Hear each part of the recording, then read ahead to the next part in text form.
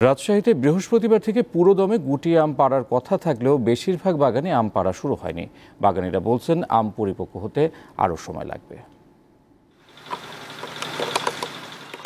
জেলা প্রশাসনের সিদ্ধান্ত অনুযায়ী বৃহস্পতিবার থেকে রাজশাহীতে গুটি আম পাড়া শুরু হয়েছে। তবে এই পরিমাণ খুবই কম। বেশিরভাগ বাগানেই আম পাড়া হয়নি। বৃষ্টির কারণে এবার আমরা আপনার সাইডে ছোট হয়েছে। এর জন্য আপনার আমরা এবার পনেরো দিন পাশায় গেছে আপনার আমরা বড় হইতে। এখনও আমের আঠি দড়ায়নি মানে বিছা আছে এখনও ওরকম ভাবে হয়নি। গুটি জাতের আম আপনি ধরেন যে এখনও বাজার জাতের হয়নি। গুটি আম এখনও দশ পনেরো দিন দেরি হবে। আমের ভাও- বহুত ফলন আছে। গোপালভোগ জাতের আম পনেরো মে লক্ষণভোগ ও রানী পছন্দ বিশ মে এবং হিমসাগর বা ক্ষীরসাপাত আম পাড়া শুরু হবে পঁচিশ মে থেকে। এছাড়া ছয় জুন থেকে ল্যাংড়া, দশ জুন আম্রপালি, পনেরো জুন ফজলি এবং দশ জুলাই থেকে আশিনা ও বাড়ি চার জাতের আম পাড়া শুরু হবে।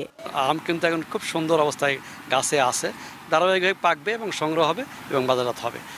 সব মিলিয়ে আমি মনে করি যে কৃষক ভাইরা এই আম, ফলের রাজা আম বিক্রি করে কিছু টাকা উপার্জন করবেন।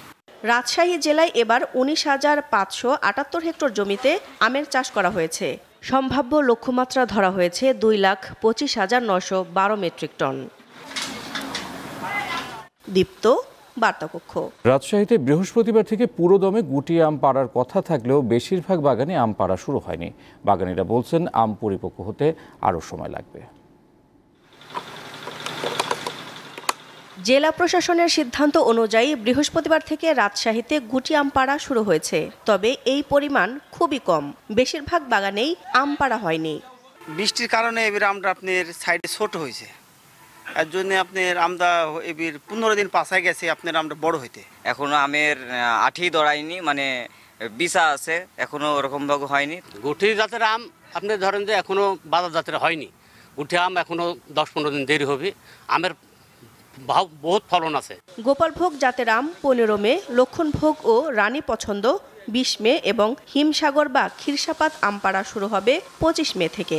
এছাড়া ছয় জুন থেকে ল্যাংড়া দশ জুন আম্রপালি পনেরো জুন ফজলি এবং দশ জুলাই থেকে আশিনা ও বাড়ি চার জাতের আম পাড়া শুরু হবে। আম কিন্তু এখন খুব সুন্দর অবস্থায় গাছে আছে। ধারাবাহিকভাবে পাকবে এবং সংগ্রহ হবে এবং বাজারজাত হবে। সব মিলিয়ে আমি মনে করি যে কৃষক ভাইরা এই আম, ফলের রাজা আম বিক্রি করে কিছু টাকা উপার্জন করবেন। রাজশাহী জেলায় এবার উনিশ হাজার পাঁচশো আটাত্তর হেক্টর জমিতে আমের চাষ করা হয়েছে।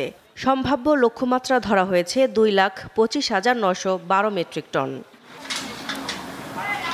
দীপ্ত, বার্তাকক্ষ।